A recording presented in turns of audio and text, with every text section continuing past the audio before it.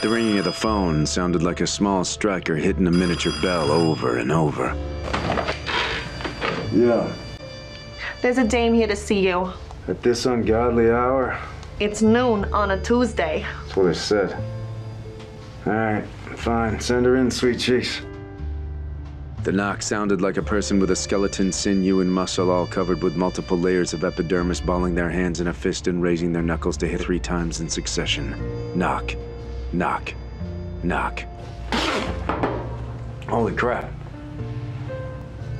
I mean, uh, What? You've never seen a real woman before? yeah, of course I have. Not just not one so, uh. Uh, what's your name there, uh? It's Ma'am. What's your name there, ma'am? Miss Ma'am Levine. What are you, a prize fighter? Not exactly, I'm a dancer. What's your name, Sleuth? Dossier. Steele dot. With the eyes of a man.